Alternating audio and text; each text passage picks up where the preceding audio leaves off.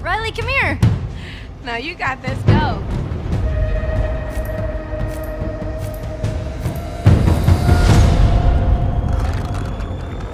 You hear that?